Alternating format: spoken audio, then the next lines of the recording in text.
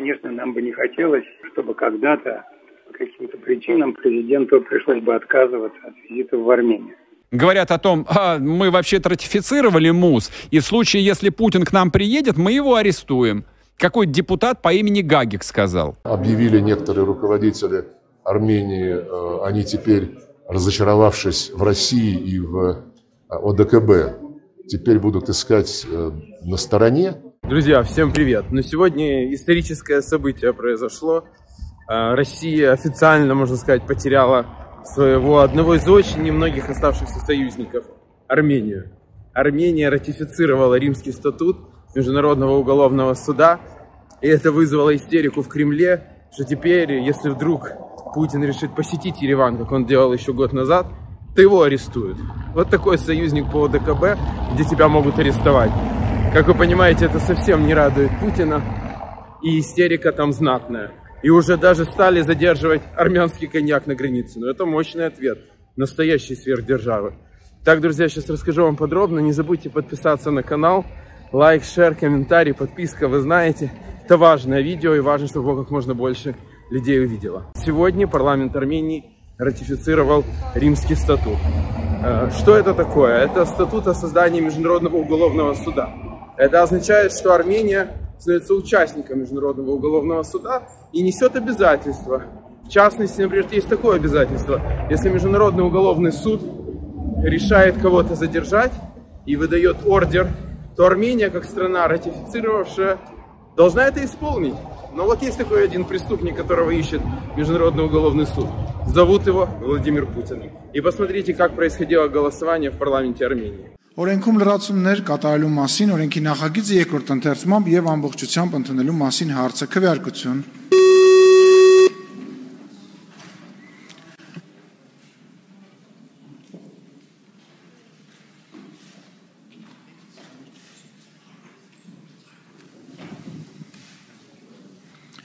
Կողմ 55 դեմ 0 ձեռնպահ 24 որոշումն ընդունվել է Как вы видите, проголосовали там все, ну, может быть, вы не знаете армянский язык, я вам все объясню. Проголосовала вся правящая партия, а депутаты от оппозиции, их там 25, а, они в участие в голосовании не приняли. Решение принято большим серьезным большинством. Ну и тут же сразу понеслась истерика. Пилсы Путина Песков сообщил, что это откровенно враждебный шаг. И ой-ой-ой-ой, послушайте. Ну, мы, безусловно, это не то, что мы приветствуем но э, Армения суверенное государство, и мы, конечно, надеемся, что подобные решения не будут негативно влиять на наши двусторонние отношения, потому что здесь речь идет о, о именно о статуте, который мы не признаем, мы не являемся его участниками.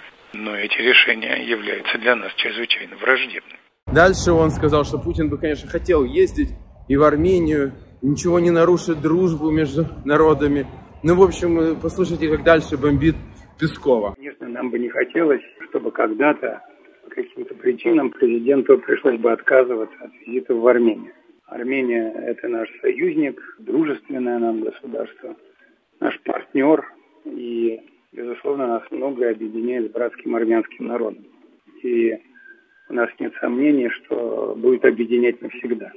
Но при этом, конечно, к руководству Армении, к действующему руководству Армении, конечно, у нас появятся дополнительные вопросы. Они были заранее переданы армянской стороны. Мы сомневаемся и сомневались с самого начала в том, что с точки зрения двусторонних отношений присоединение Армении к Римскому статуту Международного уголовного суда является корректным. По-прежнему считаем, что это некорректное решение. Мы абсолютно не согласны со словами премьер-министра Армении Пашиняна о том, что решение Армении присоединиться к Римскому статуту было связано с э, недостаточностью инструментов УДКБ и армяно-российского партнерства для обеспечения безопасности страны. Ну и посмотрите еще на лошадиную голову Лаврова.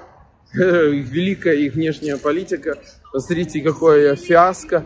И вот он стоит и говорит, что, мол, никакая временная администрация, ну типа, что временное правительство Пашиняна, значит, она не перечеркнет дружбу между российским народом, что это вообще такое, там говорит российским, потом русским народом, даже путается, значит, и армянским народом. Послушайте, как лошадиная голова э, жалуется, и как ему больно и обидно, у него прям на лице все написано. Если же, как объявили некоторые руководители Армении, э, они теперь, разочаровавшись в России и в э, ОДКБ, теперь будут искать э, на стороне коллег по упрочению собственной безопасности, это его суверенный выбор, выбор армянского руководства. Но я все-таки надеюсь, что те связи, которые веками существовали между российскими народами, русским народом и другими народами России и армянским народом, их никаким временным администрациям не разрушить. Спасибо. Ну вот так, так исчезают сверхдержавы, потому что что это за сверхдержава без союзников? Ну а что это за союзник, который готов арестовать президента своего союзника, в случае, мы говорим о Путине? Ну уж точно не похоже это на союзника, и это всем совершенно в мире очевидно. Российские пропагандисты, конечно, пишут, да что, ну, во-первых, там возмущаются, что это недружественный шаг, посмотрите скриншоты, вот другие. Ну вот слизь Витязева говорит, хочу посмотреть, кто, мол, Путина рискнет задержать, мол, не бывать такому. Но вот она это пишет, но вот ее коллега по пропагандистскому цеху Мардан считает абсолютно иначе. Он говорит, что вот эта маленькая Армения, как он пытается унизить Армению, был ваш большой друг, теперь такая маленькая Армения, но он как-то не уверен, что никто не рискнет задерживать Путина. Послушайте, как бомбит Мардана. К вопросу. А есть еще Армения, тоже посмотреть. Маленькая такая Армения. Но даже Армения, которая входит в ОДКБ, которая является членом Евразес и вроде бы как официально военно-политическим союзником – представители правящей партии говорят о том, а, мы вообще-то ратифицировали МУС, и в случае, если Путин к нам приедет, мы его арестуем. Какой депутат по имени Гагик сказал. Ну а что главная армянка России? Маргарита Симонян. Ну, вот и армянка, конечно, там с вопросами. Ей запрещен въезд в Армению. Ну, а что же она? Ну, она постоянно критикует. Да, понятно, ее уже туда не пускают. Ну, в общем, э, так, такая себе армянка, да и вообще у нее настроение совсем не очень. Совсем не очень. Она недавно до того договорилась, вообще сказала, что армян ничего не было, пока, значит, э, их э, русские к ним не пришли. Ну, то есть многотысячелетняя история армянского народа, одно из первых вообще христианских государств на планете. Но это все ничего, значит, пока из московских болот, значит, не пришли они. Ну, дикая, конечно, история. Так вот, э, она, у нее вообще ей не до этого. У нее настроение плохое. Когда закончится война, она говорит, я не знаю, когда закончится война, да и чем не знаю. Только вот ядерки пугает. Послушайте. Каждый день меня спрашивают, чем все это кончится, когда все это кончится, чем все это кончится. Родненькие, я понятия не имею, чем все это кончится. Опять же, я не, не, не сижу в высоких кабинетах, в Генштабе, где бы то ни было. Но я просто анализирую. И анализирую я, я не вижу никакого этому конца, не исходя из того, что хотим мы, а исходя из того, что делают и будут делать они. Они заднюю не дадут, пока им не будет очень-очень-очень больно. Или пока они не поймут, что очень-очень-очень больно им станет через секунду, ну, например, сегодня. Вот пока они не поймут эту, как у них это есть в языке imminent, да, то есть неминуемую, такую наползающую мгновенную угрозу, пока они ее не увидят, они не остановятся. И будут и инструкторы, и инструктора, и ракеты дальнего действия, и истребители, и You name it, опять же, как они говорят, да, вы только назовите, чего извольте, все это будет. мы... А дальше вообще гениальная идея, которая показывает, что она уже окончательно сошла с ума. Она говорит, а давайте взорвем ядерку над Сибирью. О, ребята, так давайте, вот это будет яке прикре самогубство.